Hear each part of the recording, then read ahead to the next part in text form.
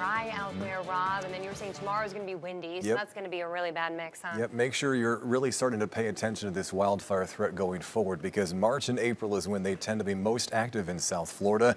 And we have a few things working against us tomorrow. Like Kyla just mentioned, the winds are going to be very strong throughout the whole day tomorrow. But the reason our team here at NBC2 is not going to issue a fire alert, at least just yet, is because something that is helping us out is the humidity. It's going to be fairly humid for early March standards around here, and that to a degree pushes back on the risk of wildfires. When you look at the risk of wildfire in our community, something you want to pay attention to is what the relative humidity is at. In our world in southwest Florida, typically when these values are less than 20%, the wildfire threat is really high. But look at this tomorrow. Our relative humidity values aren't expected to really ever drop below 40%. And as we move later into the day through 4, 5, and 6 o'clock at night, they get a lot higher. That's because the relative humidity value is a relative value and it changes based on the temperature. And as you'll find here, as it gets cooler out, once the sun goes down, the relative humidity values do get a lot higher.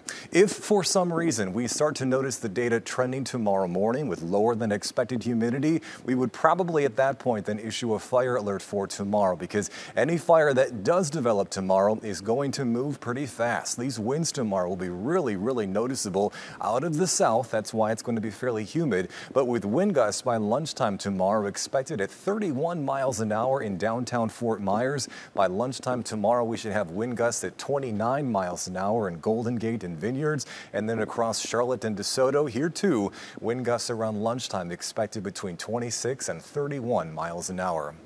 Now, at times when the wind isn't gusting, it's just going to be breezy to windy outside. This is your sustained or constant wind forecast. And notice all day long here, real windy with these winds out of the south. Now, as the temperatures start to fall closer to sunset tomorrow, the winds also will begin to relax, but it will stay very breezy. So again, even though the wildfire threat isn't off the charts tomorrow, it is higher than today because it will be much more windy outside as compared to, to this afternoon's weather.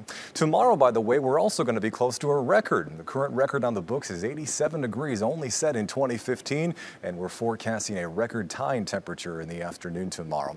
Let's talk a bit about rain. Well, nothing coming tomorrow, I'm afraid, but the reason the winds are getting stronger tomorrow is out ahead of a cold front that's moving our direction. So I'm going to just for a moment pull the maps out a bit wider here and show you the progression of this front into early Saturday. I don't see a whole lot of green popping up along this actual boundary, so we'll be really, really lucky if we can at least see a stray shower out of this thing on Saturday. But as the front itself starts to slow and then eventually stall for the second half of the weekend, at least we can put isolated shower opportunities in our area on Sunday and Monday. It's a weak front though, and because it doesn't clear us completely, the temperatures do not fall behind it. Next week we are consistently above average each afternoon, topping out in the mid and upper 80s. Kyla?